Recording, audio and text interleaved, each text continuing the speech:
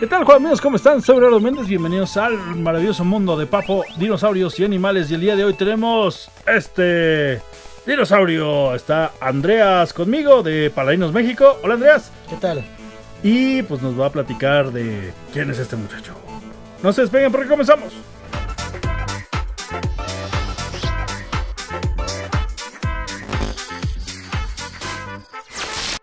Y estamos de regreso aquí en Juegos Juguetes y Coleccionables. Soy Bernardo Méndez, está Andreas conmigo de Palainos México. Y cuéntame de este muchacho, ¿quién es? Porque parece un pterodáctido, pero como, como, como que camina. Sí, este es un modelo muy pues, desconocido por unos y muy querido por otros. Este es el famosísimo Quetzalcoatlus. Quetzalcoatlus. Ahora sí que eh, pues literal está basado en el nombre del dios Quetzalcoatl. Y el nombre se lo puso el estudiante que encontró los primeros registros fósiles. Entonces decidió ponerle ese nombre y le quedó muy bien porque de hecho es un volador que está a escala de, estos dos que están acá igual grandotes.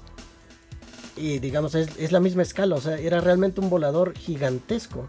Si podemos imaginar desde ese ángulo, el, largo real, si extendiéramos las alas, hasta dónde llegaría, ¿no? Este pedazo lo hacemos hacia acá, falta el otro pedazo de las alas y ni siquiera saldría completo ahorita en la pantalla, ¿no?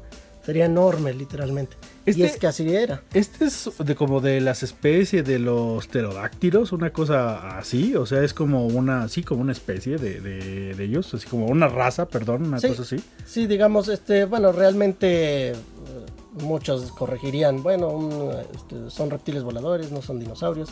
Eh, sí es cierto, ¿no? Para términos generales de los que les gustan los juguetes y coleccionables, pues son dinosaurios. Este, ya eh, siendo precisos, pues no lo es. Pero vaya, vivió en la época, ¿no? es un, lo podemos catalogar si es dentro de juguete como dinosaurio.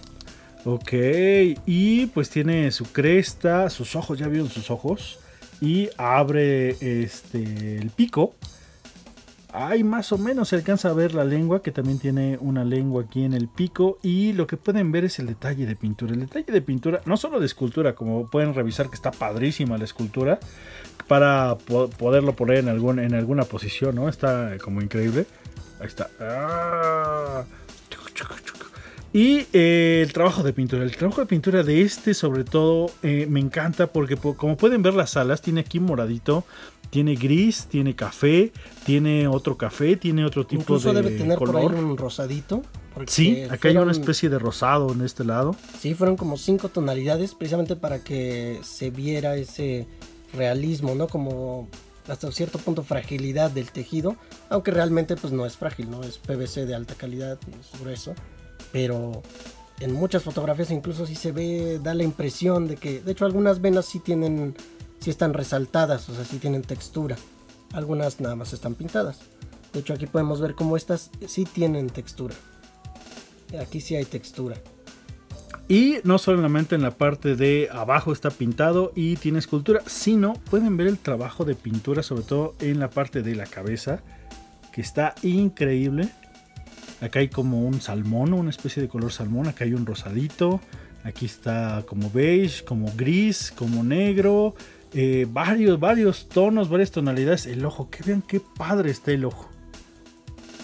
Y el detalle, ¿no? O sea que son realmente, son milímetros. Y aún así procuramos que aunque sea juguete, tengamos mucho detalle, mucha precisión en, estos, en estas partes, ¿no? La nariz, precisamente para que se vea ese realismo se usan tantos colores, no solo es de lejos tal vez lo ves solo café, de cerca vemos que realmente hay muchas tonalidades de cafés, de grises, sobre todo para que se vea la piel, la musculatura, que se vea real, ¿no? Que podamos, a muchos les gusta tomar fotografías, lo pones en el jardín, en el bosque y que se vea, que se vea real, ¿no? Como, y de hecho, si no mal recuerdo, podemos abrir un poquito más la boca, forzando un poco la pieza, pueden ver el detalle en el paladar.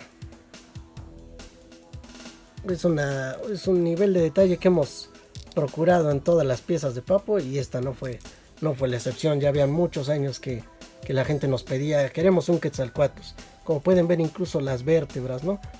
Porque está haciendo esfuerzo, realmente está como a punto de despegar, por así decirlo, ¿no? Como en una, en una roca tal vez, mirando hacia arriba y diciendo, aquí me voy. Y estos dinosaurios y juguetes y animales, ¿dónde podemos encontrarlos? Muy pronto estarán disponibles en Sanborns.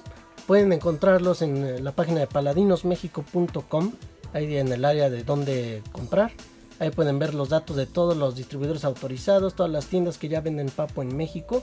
Por ejemplo, en Guadalajara está Juguetega, en Monterrey lo encuentran en el Planetario Alfa, aquí en el DF lo encuentran en Souvenirs, en Coyoacán, hay varios lados.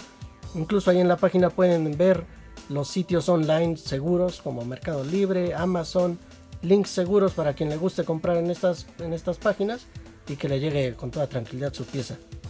Pues muy bien, pues muchas gracias Andreas y recuerden entren a Paladinos México si quieren buscar estos juguetes porque al fin de cuentas son juguetes. Para jugar a estos si se caen, si los doblamos no les pasa nada, lo cual está increíble porque no solamente son eh, de alta gama, son juguetes de alta gama, sino la idea es que juegues con ellos también para un niño muy pequeño o para un coleccionista ya adulto, lo cual está increíble. Y bueno, entren a Paladinos México, muchas gracias Andreas. Muchas gracias a ti. Y nos vemos en el próximo programa de El Mundo de Papo. Soy Bernardo Méndez y nos estamos viendo. Adiós.